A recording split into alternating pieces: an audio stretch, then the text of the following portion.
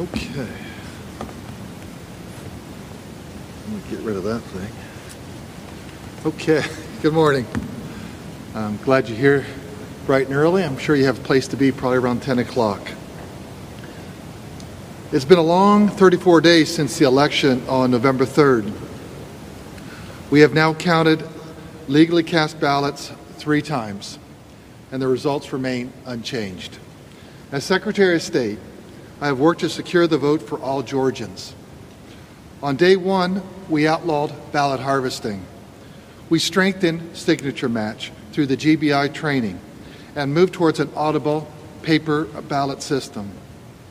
I am the first Secretary of State to implement a driver's license requirement for online absentee ballot applications, which strengthen the security of our absentee ballot process.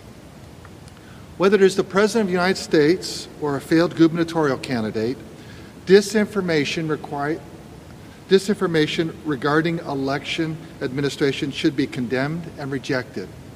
Integrity matters, truth matters. Today, the Secretary of State's office will be recertifying our state's election results. Then, the safe harbor under the United States Code to name electors is tomorrow, and then they will meet on December 14th to officially elect the next president. While we will continue our investigations to their conclusions, and where prosecution is necessary, we will work with the state election board to refer them to the proper prosecutor, prosecuted, prosecutors. We are working with the counties to assure a fair, safe, and secure election for January 5th. We will continue to take steps to assure that only legally registered Georgians will be casting ballots. So let's discuss where we are and where we are heading in Georgia. All this talk of a stolen election, whether it's Stacey Abrams or the President of the United States, is hurting our state. Georgia is the number one state in the nation to do business for nearly a decade. Continuing to make debunked claims of a stolen election is hurting our state. I started my business and built it from the ground up. I've employed hundreds and hundreds of Georgians, men and women, in those years. I know what it takes to build teams that work to strengthen buildings, restore and strengthen old landmarks. And I have also built a team that knows how to win an election. I also have built a team that knows how to run and oversee elections. And I understand we need to focus on the future of growing businesses here in Georgia, getting through the COVID pandemic, and bringing more good paying Georgians to our state. The vast majority of Georgians, Republicans and Democrats, want us, all of us, as elected officials, to focus on protecting and growing Georgia jobs, getting the vaccine out as efficiently as possible, and getting back to normal. The focus on November 3rd is drawing energy away from those goals the president has his due process rights, and those are available to him. It's time we all focus on the future and growth. I know there are people that are convinced the election was fraught with problems, but the evidence, the actual evidence, the facts tell us a different story. Business owners across Georgia know it's time to focus on the future. Georgians have serious issues that need to be addressed. I am looking forward to a great Christmas time and then a good legislative session we'll have our elections bill brought forward. It'll be a major reform of our election processes where I will work with the legislature, the governor, the lieutenant governor, Duncan, and we can all work together to help all of our businesses and make Georgia an even better place to do business so that each and every Georgian can get a good job or those brave entrepreneurs can start their next small business. It is now time to direct our energies towards the January 5th runoff election and then to making Georgia an even better place to grow your businesses, raise your families, and enjoy prosperity here in Georgia. Thank you.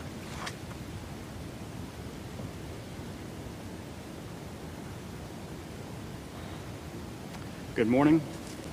Didn't bring my computer today because we only have a few numbers to go through. Um, first, as the Secretary pointed out, we will be recertifying today. We are waiting on the County Elections Board meeting in Coffee County. Uh, they knocked off and work on Friday. We tried to talk to them again this morning. They weren't quite in the office yet, so we don't know the exact time of that meeting, but we are working to figure that out. Um, as he pointed out, the safe harbor is tomorrow, so we still have time to have the bills of ascertainment sent to DC so the electors can be sat properly. All right, moving on to the January 5th election. So far, we have 1,037,172 absentee ballot. Ah, I've talked too much the last week, guys. 1,037,172 absentee ballot applications have been put into the voter registration system. We have about 39,259 that are on the dashboard for the online request process. So that's a total of 1,076,431. So far, 43,289 voters have already had their ballots accepted at the county level. Um, and this is a new number to talk about the BallotTrax system, which is the system we put in place to allow for proactive notifications to go out. There, we have 240,912 voters signed up for that right now, and of those, 12,547 have already um, got their ballots into us. And now we'll move on to what I'm going to call Disinformation Monday. Out of the gate, um, many of y'all saw the videotape from State Farm Arena. I spent hours with our post-certified investigators, uh, Justin Gray from WSB, spent hours with us going over this video to explain to people that what you saw, the secret suitcases with magic ballots, were actually ballots that had been packed into those uh, absentee ballot carriers by the workers in plain view of the monitors and the press. The reason they were packed away is because they were under the misbegotten impression that they were getting to go home. Which, if, if you notice, when you go back to the, see the videos on this, they were packing these things up 10, 10.30 at night. You see some of the same people there at 7 and 7.30 and 8 o'clock in the morning setting up those tables. They had been there all day long. They were tired and wanted to go home, and they thought they could. Um, what happened around that time, for many of you who were with us on election night, saw the secretary leaving around a similar time. We had heard that they were knocking off for the day, and he was understandably not happy with that and made that very clear, I think, on the way out the door. So our elections director for the state called the Fulton County elections director, Rick, Rick Barron, who was at the English Avenue warehouse doing election day activities, not at State Farm Arena, and said, Why are y'all knocking off? And he basically said, What do you mean we're not knocking off? And he goes, Well, from what we understand at State Farm, they are. So Rick got off that phone call. Then you see Ralph Jones at State Farm Arena getting a phone call around that time as he's literally with blue seals in his hand to seal up these containers. And you can see his shoulders kind of slump for a second. Then he goes over and does some more work on the side. I think ginning up the courage to go tell these workers who had been there all day, hey guys, we have to stay here longer to keep scanning at least the batches we have. So you can watch all this happen. You can see it from the beginning to the end. We watched the beginning of that thing, and let's be clear. The, the, there was no water main break. There was a urinal that they turned off during the downtimes of State Farm because there's no events going on there, and it had a little slow leak that came over the side. There's video, we have the videotape, and we're working to get this videotape online, but it's 80 gigabytes, and we don't really have a tool to let y'all run through it right now. We're trying to figure that out right now, so we got it into manageable bites of the most important parts of the day. That should be hopefully online today or tomorrow. Um, so you'll see when they walk in and they see the obvious water leak on the floor. You will see when they move all the stuff out of the way. You will see the Zamboni little carpet dryer thingy driving around. I mean, you can see all the things happen. You can see the table get put, put in place.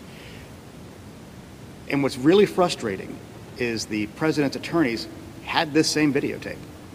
They saw the exact same things the rest of us could see, and they chose to mislead state senators and the public about what was on that video. Um, I'm quite sure that they will not characterize the video if they try to enter into evidence, because that is the kind of thing that could lead to sanctions because it's obviously untrue. They knew it was untrue, and they continue to do things like this. So that's one. Um, Ware County. There are no seized machines in Ware County. Not true. Did not happen. Um, there was a, a written report from an activist who says the hand count was 37 off. It was. He says the only reason it could be off is because of an algorithm in the machines, which is ridiculous. What have we been saying since the beginning? The most obvious fault, fault point in any of the system is the human beings who are counting them. Again, it was 0.26%. That's pretty close, especially when all the studies show you expect a 1 to 2% differential on hand counted ballots. And if you take that math, and that biggest part of the hand counted ballots that you could have problems on is the mail in absentee. If you look at 25% of 1% to 2%, what does that get you? About 2.26%. So that's well within the normal range. There is no algorithm proof. There are no seized machines. I believe some people are trying to conflate this with some of the machines being inspected in Michigan, um, but it, that's just not the case. Um, and then specifically, a United States congressman sent this disinformation out on his Twitter. He wrote it himself. Again, it's irresponsible. I was the campaign manager years ago in 1994 for the first Republican to get that 10th district seat. He would never have acted that irresponsibly, and I'm, I'm, I'm frustrated that we continue to see people who are put in positions of responsibility sending out this disinformation and undermining the electoral system.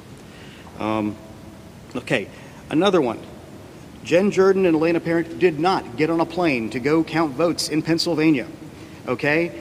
Uh, let's, they basically said, here's a picture of a blonde woman in a mask. Here's another picture of a blonde woman in a mask. Obviously, there's a conspiracy where Democrat state senators are counting ballots in Pennsylvania.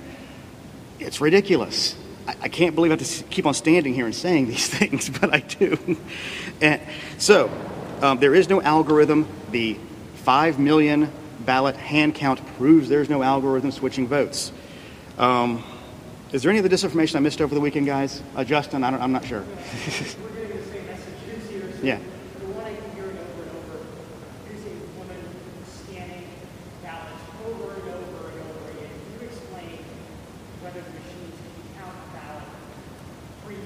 Well, if, if, it, if it counted it five times, guess what? It would have shown up in the hand count. Because if you do the same batch, and let's say, I don't even know how many there were 100, 200, whatever it was, and you'll see you do it three times, they would have been 600 off on that on the hand count. They weren't. I mean, it's just, as I've said, and y'all have heard me say it before, it's like a ridiculous game of whack a mole.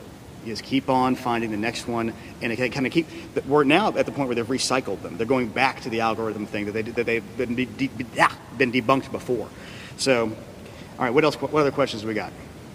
Yes. Yeah.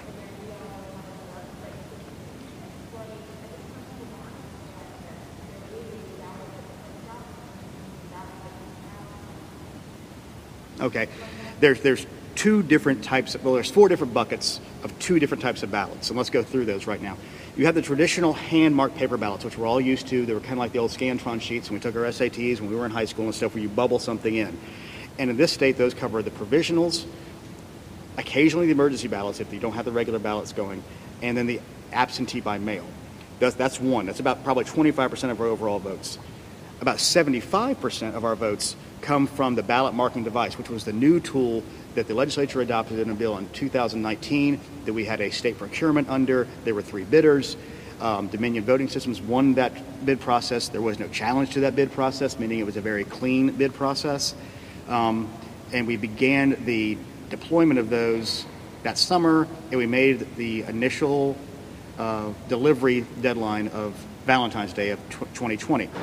That machine, you take a screen, you you check in on a device that has nothing to do with the voting machines. This is just to identify you and then give you a card to give you your ballot on the ballot marking device. You insert that card, it then brings up your ballot on the screen. You then make your selections on that screen, and when you are done, you will say print ballot. You print the ballot, it comes off an HP printer. You can look at that ballot, assure that your choices are the choices you intended to make and then you take that to a completely different machine. It's a scanner that's in the it's in the um, uh, polling location. You can have one or two, occasionally three scanners in there, um, and you drop it into that.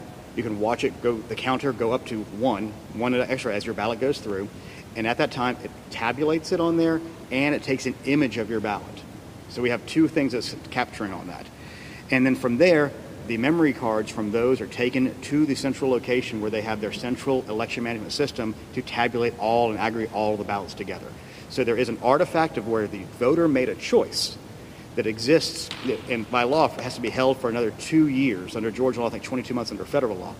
So, and that's what we use for the hand retally. Those are the same ballots we used for the recount that we are recertifying today. Does that cover your question? Yeah.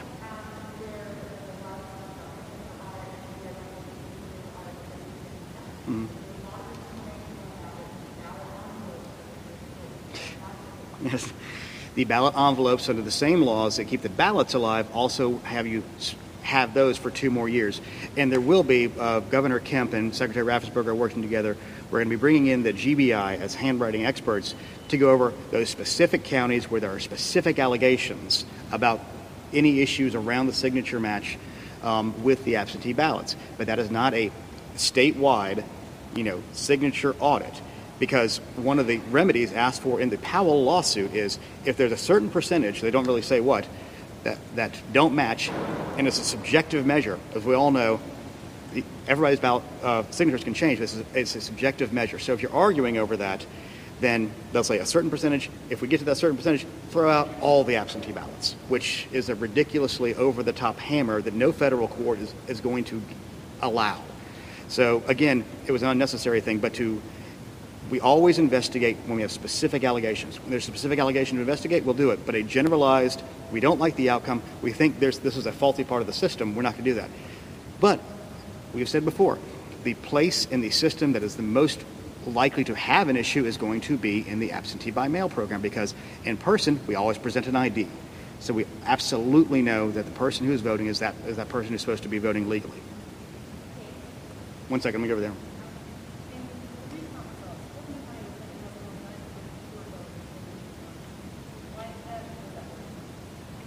It's about two votes per precinct. It's a big county. It's a little worrisome, and my best guess is they have a batch somewhere they didn't get. And we've been asking about it. The problem is the clock's running. The clock, clock ran out. And I, it's a big, big county. They've had managerial issues. We know that. Um, and of those ba- ballots, because they were so heavily um, for Vice President Biden, that means his total in the statewide counts, I'm sure we've all seen online, is about 900 lower. But again, not enough to make up the difference of 12,000. It's frustrating because, again, we see these managerial issues coming out of Fulton County. And I know they're tired. I know they're put upon to a degree, but this, they consistently have these, and they have, you know, we had that press conference at Park Tavern where we put up all the headlines from like 1995 on. None of this is new with them. So it is frustrating and it's a little irritating. I mean, another anomaly we saw was Appling County, where they had 49 ballots that had been stuck in adjudication. Not stuck in, they got left in. We literally did a phone call to every county that says, hey, we know this is a problem in some counties. Make sure you get your ballots off adjudication. They didn't until we until this final time. So everybody's learning this new system. It's a high stress environment right now because the presidential election was so close. So those kind of things are going to happen, and that's when you handle these ballots now three times. They're always a little bit different because human beings are involved in the process. Yes.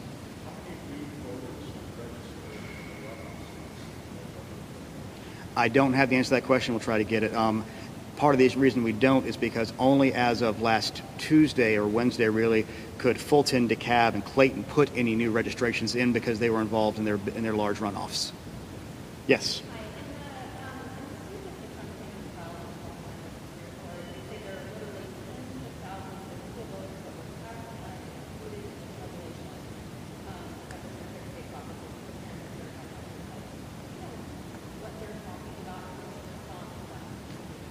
No, I have no idea what they're talking about, but they need to present their evidence if they make that kind of claim.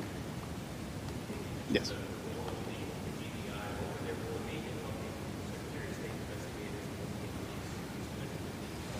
Well, the, the main role they would have is they have expertise in the handwriting, so they would be a big part of. I think of the 250, I think there's 18, and I could be wrong, but I think it's about 18 cases having to do with absentee ballot and absentee ballot handling. So that would be the main thing I think they'd go through. I don't know the manpower um, that they're going to be throwing at the whole thing for all the other cases. And let me make one other thing clear: the 250 cases is all of 2020 that's, that are still open.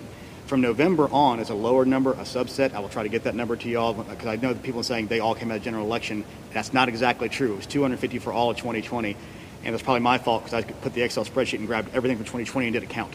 So I'm going to go back and do that again to get the subset proper. Yeah, Justin. That's fine.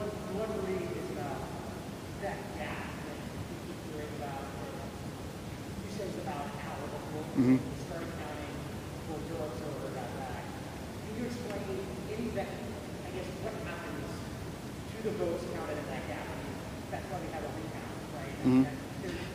There's a secondary thing about this. Under our state law, observers are allowed to be there. They are not required to be there. That's the main thing. So this is not illegal counting, as it, as it says.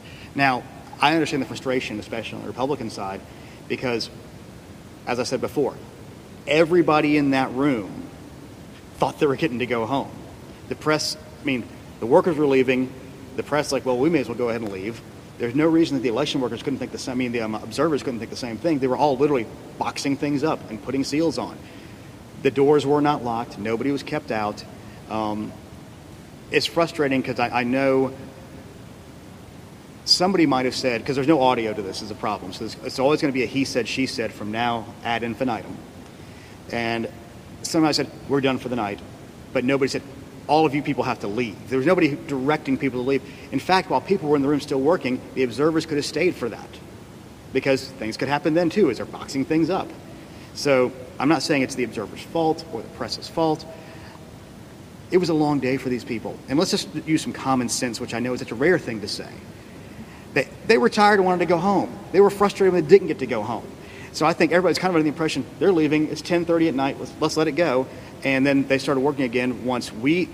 The irony of this is we can't win for losing. We call Fulton County to say keep on working. They keep on working. All of a sudden it becomes a giant conspiracy that they worked when nobody was there because we were frustrated they weren't working long enough. So it's kind of a circular thing where we're trying to keep counties diligently working to meet the goal of getting these election results out quickly.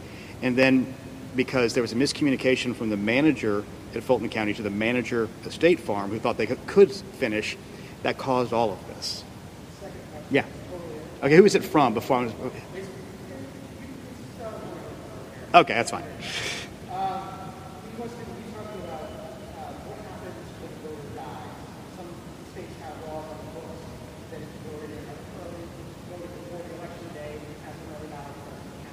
What happens to that vote, if the voter dies before the election, and what's the process of getting that vote off the rolls? Well, the, the main, let's start with the easy part. The main process of getting dead voter off the rolls is handled at the county level. They get vital records come in, and they just deal with it you know, usually monthly or weekly, depending on the processes they have in place.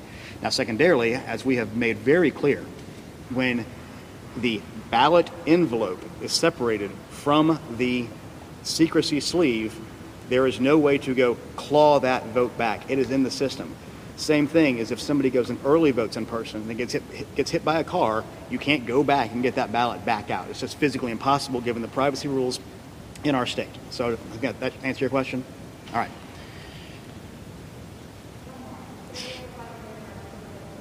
Today is the final day for Georgians to register to vote in the December, uh, the January 5th runoff election. Um, if you can go to the, it's usually when the, their doors close at the registrars. If you do it in person, you can go to the online portal. If you have a driver's license attached to your voter registration, or if you have a driver's license, because we can find your information from that, and that goes to 11:59 tonight. Yes. Um, as I pointed out in the beginning, we're waiting for Coffee County to do their certification, and they took the weekend off. And we talked. I talked to somebody, who talked to the county commission chairman, who hasn't been told yet when they're having the elections board get together to do that certification. It'll, it has to be today. It'll, it will have to be today. Yeah, probably will. All right. Anything else? All right. Thank y'all.